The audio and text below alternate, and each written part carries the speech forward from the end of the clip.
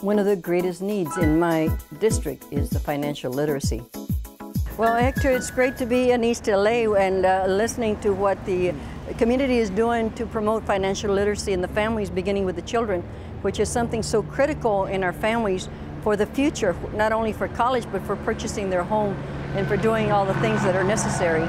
So it is wonderful to hear about it, and we hope to promote it some more.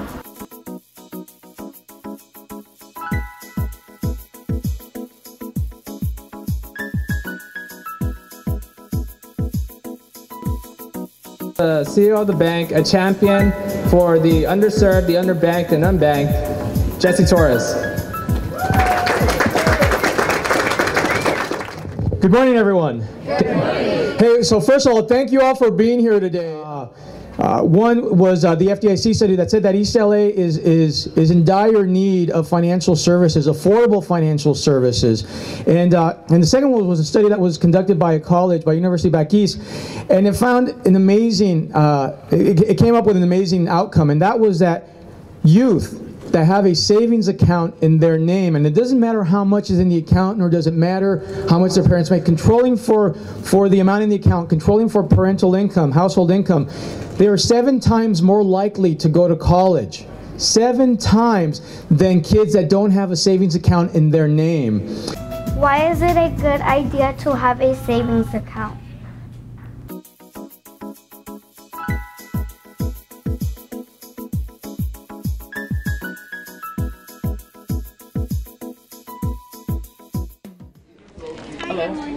Good You morning. wanted to open children's account? Yes, we do. Okay. I need your ID and your social and your child's social as well. How much do you have saved up? $208. Wow. Good job. Once this is done, once we're done talking up here, they're going to be going door to door to inform the community, to inform the families, to inform the kids about the importance of learning to become asset builders at the youngest age possible. My name is Manuel Elguera. I got three sons. I'm from Jalisco, Mexico, and I was here for over uh, 26 years. You know, the time passed fast. Suppose when I have my kid ready for the college and I don't have the money, I got to start saving right now. Hello, my name's Alma Gomez, and I was born and raised in East Los Angeles. I attended uh, the public schools here in East Los Angeles, and I also uh, attended the university at, Los Angeles. Um, and you know, we, we struggled, and I also uh, watched a lot of other families struggle because you know they didn't have enough money, or because maybe they didn't manage their money well, or for many other reasons. Hi, I'm Eric Garcetti, City Council member in the City of Los Angeles. You know, all four of my grandparents lived here in East LA in Boyle Heights. Uh, two of my grandparents, my grandfathers, were both small businessmen here. And they were able to provide for their families because as poor immigrants, they were able to start something right here on the street to get the financial means that they needed to, to be able to build up equity, to build wealth and provide a better education and opportunity for their children. I wouldn't be standing here today if I hadn't had folks who understood the importance of saving, of realizing that they too could have a stake in this city, in this state, in this country. And that's what this bank is doing as well. Right here, Pan America Bank is building up opportunity in our community. This is the heart of Los Angeles. This is one of the great American communities and still a gateway for folks who are coming today, landing on a plane, coming on a bus. Here they are coming because the American dream to them represents something not just for them, but their entire families. So working together to make sure that this is a nation of financial literacy, that we save for our future and that we invest in our future is what's happening right here on the streets of East LA every single day.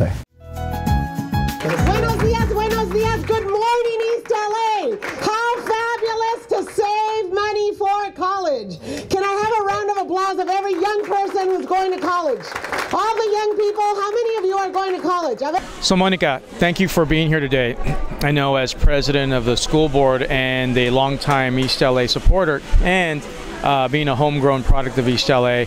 Um, East LA means a lot to you, but if, can you tell me in your words really what this type of effort r- truly means to you? Well, I'm here to stand with our community and our community partners like Pan American Bank, Bienvenidos Inner City Struggle, and others who want to empower our families and our neighborhood. When we talk about financial literacy, when we talk about college readiness, when we talk about attendance and partnership in the neighborhood, it means we have stronger families. And for our young people, it means their community cares about them. It means that we have to change the reality that so many of our families are largely underserved by banks. Uh, so the unbanked have a correlation to the unemployed and uh, lack of college going culture. We're trying to change that. Pan American Bank is doing it in such an innovative way by starting with the kids. Mm-hmm. It's teaching kids how to save for college and for their future.